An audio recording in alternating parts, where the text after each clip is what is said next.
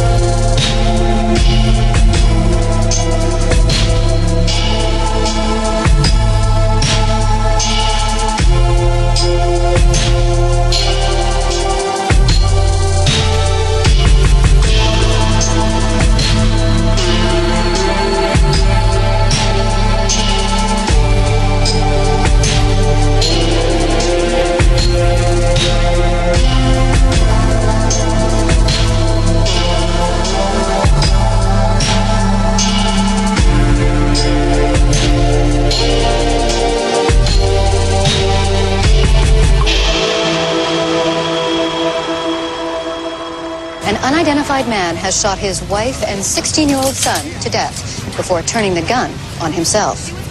Jesus. What? I don't believe this. What? Is there something with the camera? Just fix it. She's, she's still moving. Oh, for Christ's sake, Brody, I'm right in the middle of a what? What? Jesus fucking Christ. God's sakes. I thought they were dead. They're supposed to be. They are.